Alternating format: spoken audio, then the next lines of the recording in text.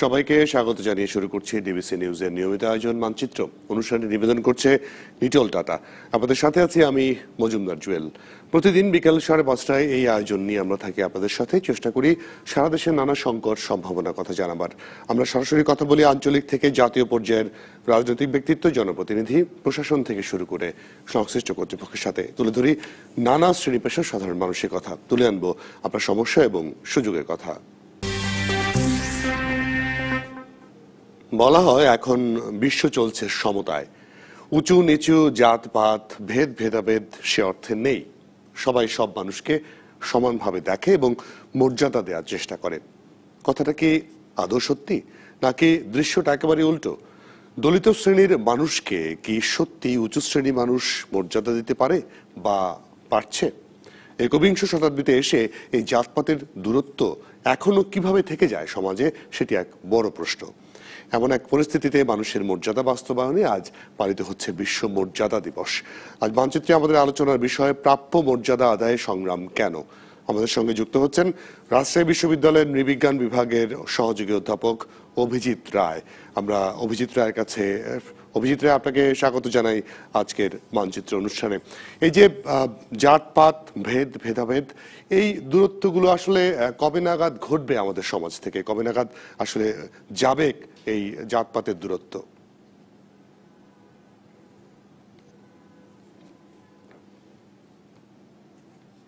একটি খুব সময় উপযোগী একটা প্রশ্ন। এই জাতপাতের সূত্রপাত যদি আমরা দেখি যে এর সূত্রপাত কিন্তু আসলে বৈদিক যুগেই। এবং যার সর্বশেষ সংস্করণ আসলে হচ্ছে যে ব্রিটিশ যে শাসন ব্যবস্থা, সেই কলোনিয়াল ব্যবস্থার ভেতর দিয়েই হচ্ছে যে এর সর্বশেষ যে প্রাতিষ্ঠানিক রূপ, যে দলিত সম্প্রদায়, সেই সম্প্রদায়ের বিষয়টি আসলে চলে আসে। তো একটি ভাবাদর্শের যেটি আসলে বৈদিক যুগে যার আসলে জন্ম, সেই ভাবাদর্শ আসলে খুব এবং এর প্রাতিষ্ঠানিক রূপ সর্বশেষ যেহেতু ব্রিটিশ শাসন আমল সেই ভাবাদর্শের আদালতে যে আমাদের যে সামাজিকীকরণ যে ব্যবস্থা, এটি আসলে যে খুব দ্রুত সময়ের ভিতরে যে নির্মূল হবে সেই বিষয়টি আসলে এই মুহূর্তে কামনা করা আসলে খুবই কঠিন একটা ব্যাপার। তো এই দূরত্ব কিন্তু আগের চাইতে আমি মনে করি যে কিছুটা হলেও লাঘব হয়েছে। বিশেষত বাংলাদেশের কনটেক্সটে এবং ভারতবর্ষের কনটেক্সটে যে বর্ণপ্রথা, সেই বর্ণপ্রথা কিন্তু অনেকাংশেই বিভিন্ন সেক্টরে বিভিন্ন ক্ষেত্র বিশেষ কিন্তু বিলুপ্ত হয়েছে। বা কিছু অংশ এখন পর্যন্ত সেটা রয়ে গেছে। তবে এটি সময়ের পরিক্রমায়, আমাদের যে সভ্যতার বিকাশের ধারায় হয়তো বা এটি একটি পরিবর্তন আসবে, যার জন্য আসলে বিভিন্ন ধরনের সামাজিক আন্দোলন এবং এক ধরনের রাষ্ট্রীয় পৃষ্ঠপোষকতার প্রয়োজন রয়েছে বলে আমি মনে করি। আমরা যদি একটা একদম মানে পার্টিকুলার হরিজন সম্প্রদায়কে নিয়ে বলি। আমরা গাইবান্ধার একটি প্রতিবেদন বা কিছু ছেলে মেয়ের কথা শুনছিলাম, তাদেরকে স্কুলে একসঙ্গে বসতে দেয়া হয় না। যারা একদম বাচ্চা, একদম ক্লাস ওয়ান টুতে পড়ে, সেই বাচ্চাগুলোর মধ্যেও পর্যন্ত এই জাত প্রাতের প্রথাটা যদি ঢুকে যায়, যারা হরিজন সম্প্রদায় থেকে গেছে এবং যারা উঁচু শ্রেণি বা আমাদের এলিট শ্রেণি বলি তাদের মধ্যে যারা শিক্ষক আছেন, তারা তো সেটা বোঝাতে পারেন, পরিবার থেকে বোঝাতে পারেন।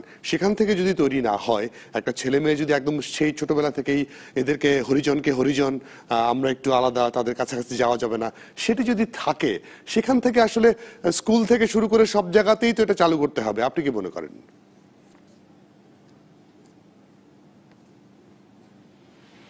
হ্যাঁ সেটা কিন্তু একদম মানে একটা বাস্তবতাই সেই ছেলে মেয়েরা যেটি, যে বিষয়গুলোকে তুলে ধরেছে, শুধুমাত্র হরিজন সম্প্রদায়ের ক্ষেত্রে এটা প্রযোজ্য না। আমরা সারা বাংলাদেশের যে আদিবাসী সম্প্রদায় আছে, তাদের ক্ষেত্রেও একই জিনিস আসলে প্রযোজ্য, যেভাবে হরিজন সম্প্রদায়ের জন্য প্রযোজ্য। এই ক্ষেত্রে কিন্তু সিভিল সোসাইটি, আমাদের মতন একাডেমিশিয়ান বা উন্নয়ন প্রতিষ্ঠানগুলো যে দাবিটি বর- বরাবরই আসলে করে আসছে, যে আমাদের যে প্রাথমিক যে শিক্ষা ব্যবস্থাটি আছে, মাধ্যমিক যে শিক্ষা ব্যবস্থাটি আছে, তার ভেতরে আসলে এই যে জাতপাতের যে বৈষম্য এবং যে সামাজিক সংহতি, নৈতিক শিক্ষা, বাংলাদেশের ক্ষেত্রে নৈতিক শিক্ষা, অর্থাৎ মোরাল এডুকেশন এবং এই সোশ্যাল হারমোনি এবং সোশ্যাল সলিডারিটির যে ধারণাগুলো, এই ধারণাগুলো কিন্তু আসলে সিলেবাসে সংযোগ করায় এখনে মানে অত্যন্ত জরুরি একটি বিষয় হয়ে দাঁড়িয়েছে। তো বর্তমানে যে কারিকুলামটি যে সিলেবাসটি প্রচলিত আছে, তার ভেতরে কিছু বিশেষ বৈশিষ্ট্য আমরা দেখতে পাই যে বাংলাদেশের যে আদিবাসী সম্প্রদায় আছে, তাদের সম্পর্কে কিছু বিষয় এই টেক্সট বইগুলোতে উঠে এসেছে। কিন্তু এখন পর্যন্ত পার্টিকুলারলি হরিজন সম্প্রদায়, যাদেরকে আমরা দলিত হিসেবে চিহ্নিত করছি এই মুহূর্তে, তাদের বিষয়ে সুস্পষ্ট কোনো ধরনের ধারণা দেবা বা এই যে আমরা যে, এই যে তাদের যে সাংস্কৃতিক যে বৈচিত্র্য এটাকে বৈচিত্র্য হিসেবে উপস্থাপন না করে আমরা সামাজিক অন্যতা, অর্থাৎ আদার কালচার বা আদার নেস তৈরি করছি। এই আদারনেসের ধারণাটা আসলে যে যারা টেক্সট বুক যারা প্রণেতা, তাদেরকে আসলে এই বিষয়গুলোকে আসলে কনসিডারেশনে রাখতে হবে।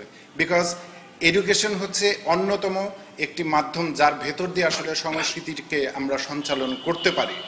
এবং সেই ব্যবস্থাটির ভিতরে যদি আমরা এই বিষয়গুলোকে ইনসার্ট না করতে পারি, সংযুক্ত না করতে পারি, তাহলে পরে এই বৈষম্যমূলক আচরণ কিন্তু আমাদের ভিতরে থেকেই যাবে। এবং এই বিষয়টি রাষ্ট্রীয় পৃষ্ঠপোষকতায় এবং এর দায়ভার রাষ্ট্রকে আসলে নিতে হবে এবং এর যে প্রয়োজনীয় যে ব্যবস্থা, সেটি আসলে রাষ্ট্রকেই আসলে ব্যবস্থা করতে হবে বলে আমি মনে করি। জি এর প্রসঙ্গে যদি আমি আসি, ভারতবর্ষ যেহেতু আমরা সবাই একসঙ্গে ছিলাম, বাংলাদেশ ভারত, পাকিস্তান, এই অঞ্চলে যে ভারতবর্ষ যদি বলি, এবং একটা সময়ে দলিত একজন নেতা, একজন ডক্টরেট একজন প্রশিক্ষিত, শিক্ষিত মানুষ ডক্টর আম্বেদকর, তার হাতে কিন্তু ভারতের সংবিধান রচিত হয়েছে এবং তার মৃত্যু দিবসটিকেই মর্যাদা দিবস হিসেবে পালিত হয়। কিন্তু তিনি সংবিধান প্রণেতাদের সংবিধান প্রণয়ন করতে গিয়ে অনেক নিয়ম নীতি সেখানে দলিতদের পক্ষে রেখে গেছেন। তার মাধ্যমে আমরা দেখি যে ভারতে রাষ্ট্রপতি পর্যন্ত হচ্ছে দলিত সম্প্রদায়ের মানুষ। কিন্তু সার্বিকভাবে কি এই দলিতরা সমমর্যাদা পেয়েছে? আপনি কি কি দেখতে পান?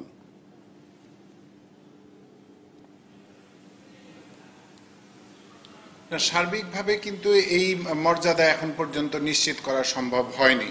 সেটি ভারতবর্ষের কনটেক্সটে ভারতবর্ষের যে কনটেক্সট আর বাংলাদেশের কনটেক্সটে কিন্তু সম্পূর্ণই মানে একটু আলাদা করে আলাদা করে আসলে দেখতে হবে। যদিও এই দলিত বা বর্ণপ্রথার কনটেক্সটে এই আমাদের যে ভারতবর্ষ এবং বাংলাদেশের ভিতরে তেমন তফাত নেই। কিন্তু স্বাধীনতা পরবর্তী বাংলাদেশের যে যে চরিত্র সেই চরিত্রটিকে আমাদেরকে বিশ্লেষণ করতে হবে যে উপনিবেশিকতার আদলে আদল আদল থেকে বা উপনিবেশিক যে ধারণা, সেই ধারণার থেকে ভারত যেভাবে মুক্ত হতে পেরেছে বা যে মুক্ত হওয়ার যে চেষ্টাটি অব্যাহত রেখেছে, বাংলাদেশ সেই মানে সেই ধারাবাহিকতাটা কি তারা চলমান রেখেছে কিনা বা এই উপনিবেশিক যে ভাবাদর্শক বা যে মানসিকতা, সেই মানসিকতার থেকে আমাদের রাষ্ট্র এবং আমাদের নাগরিক সমাজ কতটুকু মুক্তি হতে, মুক্ত হতে পেরেছে, সেই বিষয়টি কিন্তু আমাদের আসলে একটি ভাববার বিষয়। যতক্ষণ না পর্যন্ত সেই বিষয়টিকে আমরা চিন্তার ভেতরে না নিয়ে আসতে পারব এবং তার প্রতিফলন যতক্ষণ না পর্যন্ত প্রাতিষ্ঠানিক ব্যবস্থার ভিতরে বা রাষ্ট্রীয় ব্যবস্থার ভিতরে না আসবে, ততক্ষণ পর্যন্ত কিন্তু এই আপনার সর্ব সর্বজনসাধারণ, অর্থাৎ অ্যাজ এ হোল হরিজন সম্প্রদায়ের যে অধিকার সেটি নিশ্চিত করা কিন্তু সম্ভব হবে না বা এখন পর্যন্ত হয়নি বলে আমি মনে করি। জি, অভিজিৎ রে, আপনি থাকবেন আমাদের সঙ্গে। আমরা ছোট্ট বিরতি নিয়ে ফিরছি আবারও আপনার কাছে এই আলোচনা। দর্শক, আপনারা থাকবেন আমাদের সঙ্গে।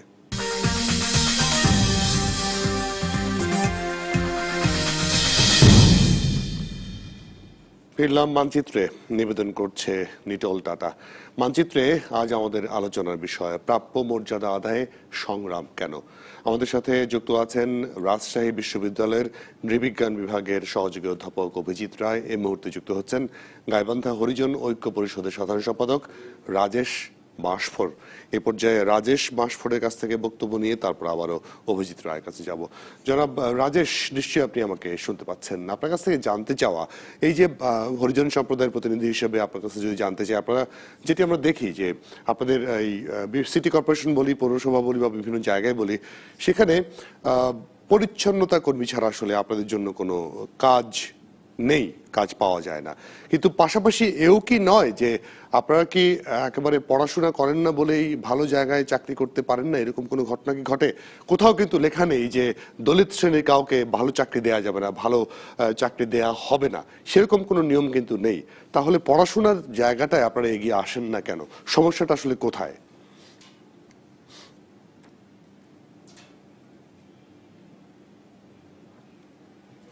সমস্যাটা সর্বপ্রথম আমি ধন্যবাদ জানাই ডিবিসি চ্যানেলকে।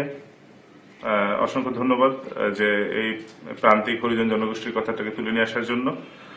এখন আমাদের সমাজ আমাদের সমাজ শিক্ষিত হচ্ছে, তারা প্রতিনিয়ত অনেকেই লেখাপড়া করছে, অনেকেই এগিয়ে এসেছেন, ভালো ভালো পোস্টে আছেন, কিন্তু তাদেরকে যে সেই জায়গাটা নিতে, সেই চেয়ারটা ভালো লেখাপড়া করে শিক্ষিত হয়ে একটা চেয়ার পেতে হলে তাদেরকে সংগ্রাম করেও চেয়ার পেতে হয়।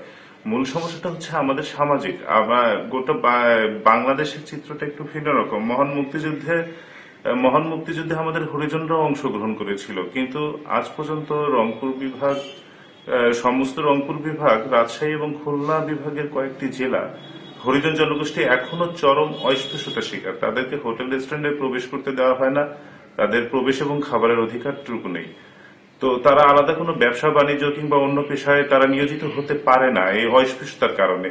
তো সামাজিক যে একটা বৈষম্য এই বৈষম্যের কারণে তারা শিক্ষিত হয়েও ঘুরে ফিরে সেই ঝাড়ুদারি পেশা কিংবা হচ্ছে তথাকথিত নিচু পেশার সঙ্গে জড়িত হতে হতে হয় বাধ্য হয়ে। এখান থেকে আমাদের সমাজে অনেকে শিক্ষিত হয়ে এসেছেন। অনেক আহ, উদাহরণ এরকম অনেক আছে কিছু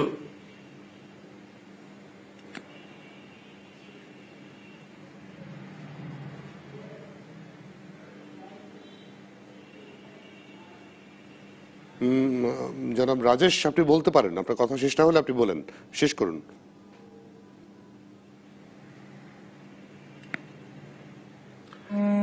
জি এরকম উদাহরণ আছে। আমাদের আহ, বোন এরকম উদাহরণ আছে যে তার চেয়ার পেতে হলে তাকে সংগ্রাম করতে হচ্ছে অনেক তর্ক বিতর্ক। তো আহ, আসলে শিক্ষার আগ্রহটা কম এই জায়গা থেকেই যে সমাজ তাকে বৈষম্য করে রাখে। সমাজ এই জনগোষ্ঠীটাকে বৈষম্য বৈষম্য প্রদর্শিত করে। এই জন্য একরকম সমাজ থেকে বিস্তৃত অচুত করে রাখা হয় এই জনগোষ্ঠী। জি, রাজেশ, আপনি আমাদের সঙ্গে থাকবেন। আবার আপনার সঙ্গে সংযুক্ত হওয়ার চেষ্টা করব। অভিজিৎ রায়, আপনি নিশ্চয়ই আমাকে শুনতে পাচ্ছেন। যেটি আসলে রাজেশ বললেন যে সমাজ তাদেরকে সামনে এগোতে দেয় না। সমাজের নানা ধরনের চোখ রাঙানির কারণে আসলে তারা সামনে এগোতে সাহস করেন না, সামনে এগিয়ে যানও না, অনেক ক্ষেত্রে ঝরে পড়েন।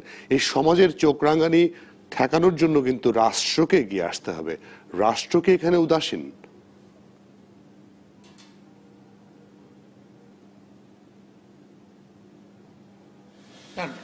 রাষ্ট্র উদাসীন এটি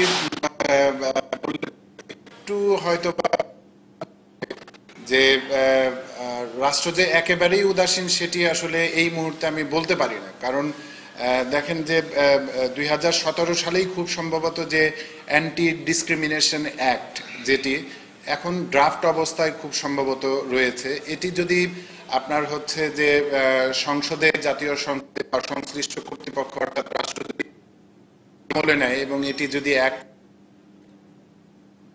এই দলিত শ্রেণির জন্য একটি বড় একটি অর্জন আমি বলব যে এই একটি একটি অর্জন অর্থাৎ এই ডিসক্রিমিনেশনকে রোধ করার জন্য এটি একটি ক্রিয়াশীল ভূমিকা পালন করতে পারে। এছাড়া যদি আমরা এই মুহূর্তে যদি দেখি যে বিশেষত যে হরিজন সম্প্রদায়ের যে ট্রেডিশনাল যে অকুপেশন বিশেষত যে নিয়োগের ক্ষেত্রে, সম্প্রদায়ের যে ট্রেডিশনাল যে অকুপেশন সেই ট্রেডিশনাল অকুপেশনের নিয়োগের ক্ষেত্রে প্রধানমন্ত্রী উনি যে ঘোষণাটি করেছেন সেটির ক্ষেত্রে যে আশি পার্সেন্ট একটি কোটা ওনাদের জন্য বরাদ্দ দেওয়ার কথা বলা হয়েছে। কারণ যে এই ট্র্যাডিশনাল অকুপেশনেও আসলে যারা অভ্যস্ত না তাদেরকেও আসলে যুক্ত হওয়ার একটা প্রক্রিয়া শুরু হয়েছিল। সেই বিষয়টিকে আসলে স্টপ করার জন্য রাষ্ট্র কিন্তু একটি ব্যবস্থা কিন্তু গ্রহণ করেছে। একটি রাষ্ট্র আসলে আমি মনে করি যে জাতিগত সত্তার যে ভিত্তি বা জাতিগত সত্তার প্রশ্নে সবসময় আসলে পক্ষপাতহীন আচরণ করে না। এটি ইতিহাস আসলে ওই ধরনের কোনো সাক্ষ্য দেয় না। তাহলে পরে রাষ্ট্রের এদেরকে এই দলিত শ্রেণীকে রক্ষা করার জন্য যেভাবে এই মুহূর্তে আমরা কিছু ভূমিকা দেখছি আবার ঐতিহাসিক পরিক্রমায় কিন্তু রাষ্ট্রীয় পৃষ্ঠ পৃষ্ঠপোষকতাতেই আপনার দলিত শ্রেণীকে আলাদা হিসেবে আমাদেরকে চিহ্নিত করতে হয়েছে।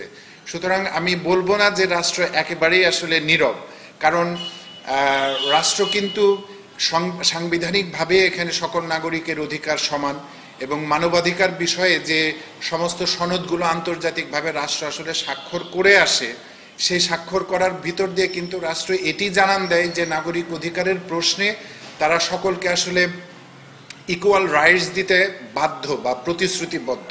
এখন যে বিষয়টি সেটি আসলে ফাংশন করছে কিনা ফাংশন করছে কিনা? আমি কয়েকদিন আগে এই বিষয়ের দলিত শ্রেণির একটি গোল টেবিল বৈঠকের যে আলোচনা, তার সারসংক্ষেপে আমি দেখেছি যে আপনার যে সোশ্যাল সিকিউরিটি যে ফান্ড এই ফান্ডটি কিন্তু এই মুহূর্তে সরকার কর্তৃক কিন্তু বাস্তবায়ন হচ্ছে। এখন বিষয়টি হচ্ছে যে এই বাস্তবায়ন প্রক্রিয়াটি কতটুকু সুষমভাবে হচ্ছে, সেটি আসলে প্রশ্ন সাপেক্ষ ব্যাপার। সেইখানে রাষ্ট্রের একটা ভূমিকা থাকতে পারে, একটা প্রত্যক্ষ মনিটরিং সেই জায়গায় থাকতে পারে। আবার রাষ্ট্র, দলিত শ্রেণি জন্য যে সমস্ত উন্নয়ন কার্যক্রমগুলো হাতে নিচ্ছে, যে ধরনের আর্থিক বরাদ্দগুলো দিচ্ছে আমাদের আপনার এই গণমাধ্যম থেকেই কিন্তু আমরা জানতে পারছি যে মানে সঠিক মনিটরিং এর অভাবে এই আর্থিক বরাদ্দগুলো কীভাবে খরচ হবে সেই নির্দেশনা কিন্তু রাষ্ট্র দিতে পারছে না। যার কারণে এই হরিজন সম্প্রদায়ের উন্নয়ন কার্যক্রমগুলো কিন্তু প্রতিবন্ধকতার শিকার হচ্ছে। তাহলে পরে রাষ্ট্রের ভূমিকাটাকে এইখানে আসলে দ্বৈতভাবে আমাদেরকে দেখতে হবে। আর যে বিষয়টি আমাদের সবচাইতে ভাবার যে বিষয়টি, সেটি আমি মনে করি যে আমাদের যে একদম ছোট থেকে এই যে আপনি আমাদের যে ভাই আমাদের সাথে যুক্ত হলেন, উনি যে বিষয়টি বললেন যে আমাদের যে সামাজিক যে ব্যারিয়ারগুলো প্রতিবন্ধকতাগুলো, সেই প্রতিবন্ধকতাগুলো কিন্তু আজকের বিষয় না। এগুলি দীর্ঘ একটি সাংস্কৃতিক পরিক্রমায়, সাংস্কৃতিক ব্যবচ্ছেদের ভিতর দিয়ে এই বিষয়গুলো কিন্তু নির্মিত হয়েছে এবং আমাদের যে চাইল্ডের যে, শিশুদের যে সামাজিকীকরণ প্রক্রিয়া, সেই প্রক্রিয়ায় কিন্তু এই দলিত শ্রেণীকে আমাদেরকে উপস্থাপন করেছি বা মানুষের সামনে পরিবেশন করেছি অন্য হিসেবে, আদার হিসেবে। সেটা ওনারা যে বাংলাদেশের সব বৈচিত্র্যময় সংস্কৃতির একটি অংশ, সেই হিসেবে কিন্তু আমরা তাদেরকে উপস্থাপন করিনি। সেই, আমি সেই বিষয়টিকে আমি তাগিদ দিব যে শিশুর যে প্রাতিষ্ঠানিক এবং অপ্রাতিষ্ঠানিক যে শিক্ষা ব্যবস্থা, সেই শিক্ষা ব্যবস্থায় এই শ্রেণির পেশাগত বৈচিত্র্য, সাংস্কৃতিক যে বৈচিত্র্য এবং স্বতন্ত্র যে আইডেন্টিটি সেই আইডেন্টিটিটাকে সঠিকভাবে উপস্থাপন উপস্থাপন শুধু। আধার বলে উপস্থাপন না করা। জি অভিজিৎ রায় বুঝতে পেরেছি আপনার কাছে। আমি যে রাজেশের কাছে আবার যাব। জনাব রাজেশ যেটি অভিজিৎ রায় বললেন যে আপনাদের জন্য বরাদ্দ আছে সরকারের আলাদা কোটাও আছে কিন্তু সেগুলো সমন্বয়ের অভাব বা ঠিকমতো পরিকল্পনা অভাবের কারণে আপনাদের হাত পর্যন্ত সেটা পৌঁছে না। সে সংগঠনের যদি সাধারণ সম্পাদক হিসেবে আপনি কাজ করেন আপনারা সরকারের সঙ্গে প্রশাসনের সঙ্গে এ বিষয় নিয়ে কথা বলার কোনো সুযোগ পেয়েছেন কিনা?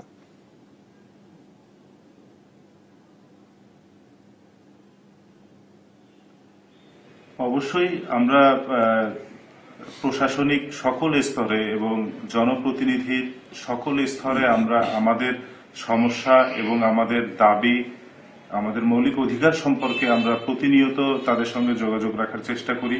কিন্তু মানে ফল হিসেবে শুধু কিছু সামান্য কিছু, দুই একটি বয়স্ক ভাতা, শিক্ষা ভাতা থেকে শুরু করে এই পর্যন্ত বরাদ্দ দিয়ে এবং আশ্বাস, শুধু আশ্বাসটুকু আমাদের মেলে।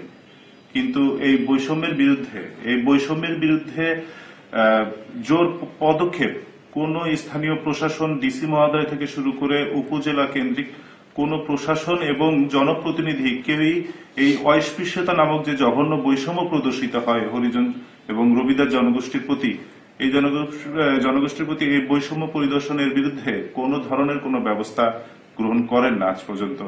আমরা প্রতিনিয়ত সকল স্তরে যোগাযোগ করি। এবং যোগাযোগ করে প্রশাসন থেকে শুধু আশ্বাসই পাই।